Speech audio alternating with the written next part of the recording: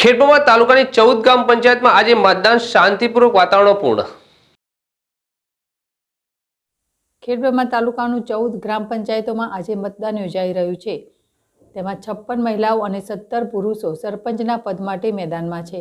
આ ચૂંટણીમાં સાડત્રીસ બૂથ પર મતદાન કરવામાં આવી રહ્યું છે, જેમાં છ ચૂંટણી અધિકારી, છ મદદનીશ ચૂંટણી અધિકારી અને એકસો બાણું પેટ્રોલિંગ ઓફિસર અને ત્રેવીસ રિઝર્વ સ્ટાફ તથા બસો પંદર કર્મચારી મતદાન કરાવી રહ્યા છે, જેમાં પંદર હજાર સાતસો બોતેર પુરુષ અને ચૌદ હજાર આઠસો સન્નું મહિલા મતદારો મળી કુલ ત્રીસ હજાર સાતસો અડસઠ લોકો પોતાના મતાધિકારનો ઉપયોગ કરશે.